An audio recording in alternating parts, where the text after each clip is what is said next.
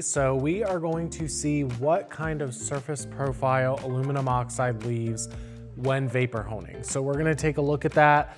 This is the before reading, so it's reading a 1.88 RA for surface roughness, and you can see the photo right behind it. This is what it looks like before. So we'll be right back with the after results uh, to let you know what our measurements are reading and let you see a little bit of what the surface looks like.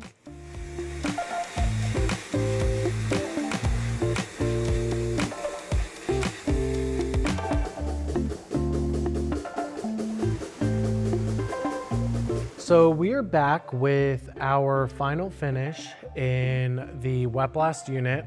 Again, we used an aluminum oxide on this sample piece of aluminum. Uh, we used it at 90 PSI. It, the pressure will have a little bit of a dictation on how rough or how smooth your surface is finished. But you can see where all of the lines were before on that cut piece of metal that they are now gone. It made it more consistent and more uniform with the finish throughout the entire piece. But it did increase the surface roughness a little bit to 2.78, so it's around the same as what it was when we started.